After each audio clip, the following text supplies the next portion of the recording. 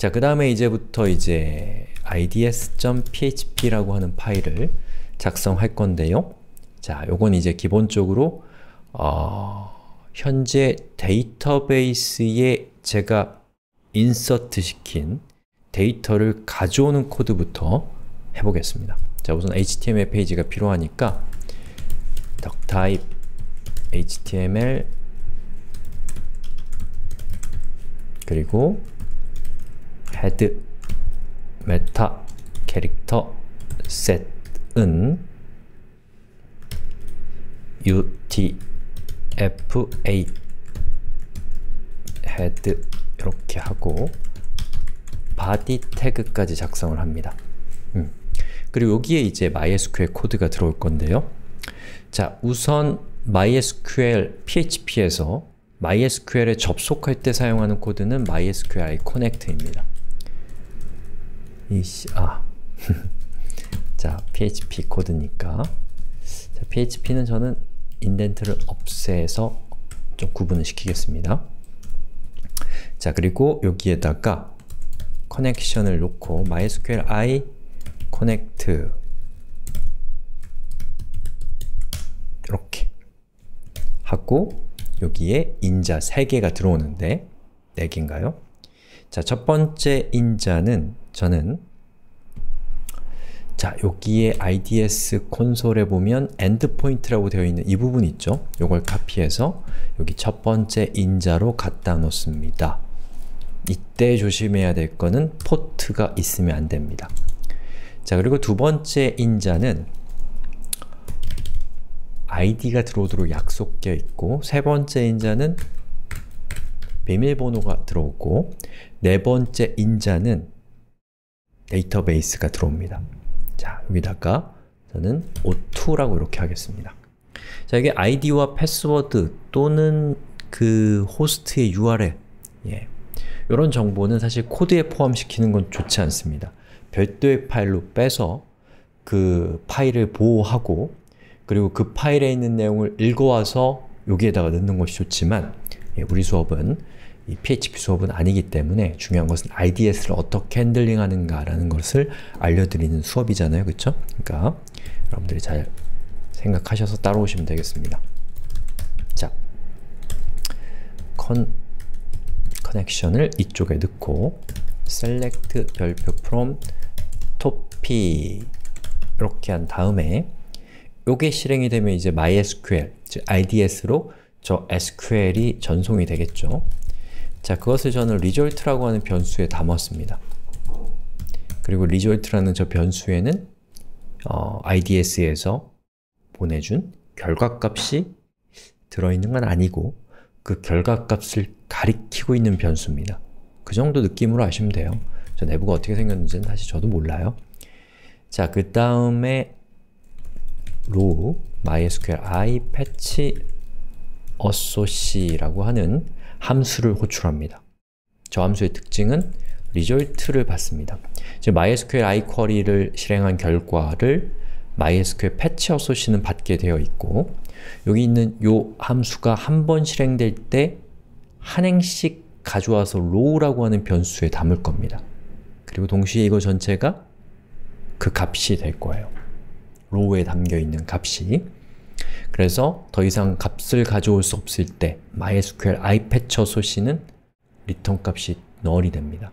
그럼 제가 선택한 저거 전체가 null이 되면서 PHP에선 null을 false와 등가로 하기 때문에 더 이상 반복문이 실행되지 않으면서 이 반복 구문이 끝나는 코드입니다. 자, 그 다음에 음, 어떻게 할까요? 프린트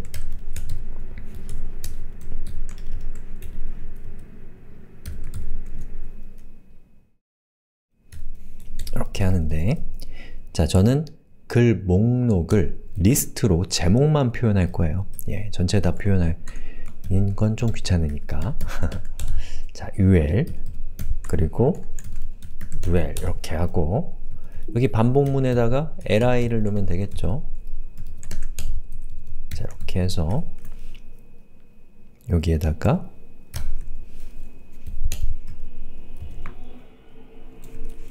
타이틀 타이틀 어딨냐? 여기서 저는 타이틀을 쓸 겁니다. 타이틀은 MySQL i real e s c a p e string 음. 어, 이걸 제가 외우다니 자, 커넥션을 첫 번째 인자로 주고 두 번째 인자는 row에 있는 타이틀 값을 이렇게 주고 이걸 실행을 시켜보겠습니다. 자, 요거 다시 리로드를 해보면 잘 돼야 되는데 잘 됐죠. 보시는 것처럼 우리의 PHP 애플리케이션이 이 주소에 해당되는 IDS에 접속해서 select 별표 from topic의 결과를 화면에 출력하는 것을 보셨습니다. 자 그럼 사용자가 입력한 정보를 서버로 전송하는 코드도 한번 짜볼게요. 자 우선 뭐가 필요하냐면 폼 태그가 필요합니다. 그리고 이 폼 태그는 어, receive rds underbar receiver.php로 POST 방식으로 데이터를 보낼 것이고요. 그리고 어떤 데이터를 보낼 거냐면 일단은 제목 부분, 제목 자, 이렇게 생긴 코드를 전송할 거예요. 그 다음에 본문은 이렇게 생겼습니다.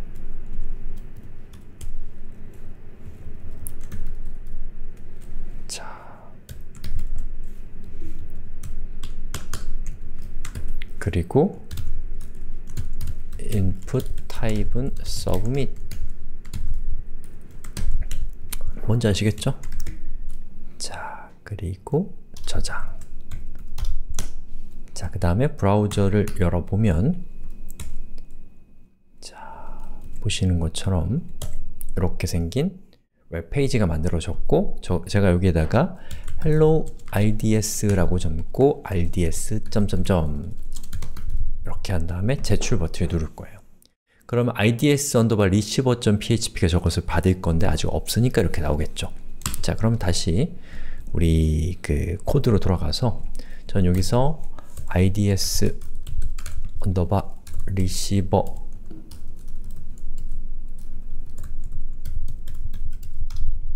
.php 파일을 만들었습니다.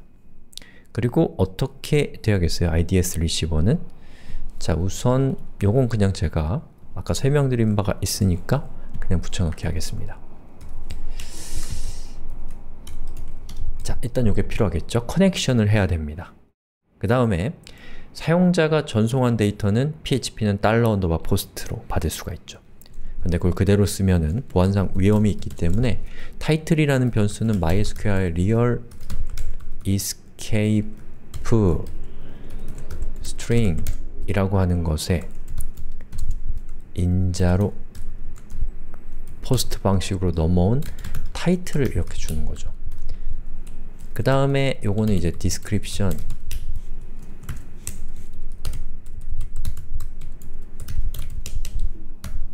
됐나요? 그리고 이제 SQL문을 작성할 겁니다.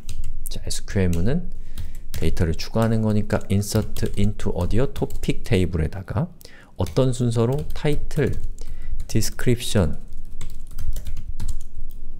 그리고 author, 그리고 created의 순서로 저장할 거고. 그리고 실제 데이터는 일단은 타이틀 부분은 타이틀. 이렇게 하고 그리고 description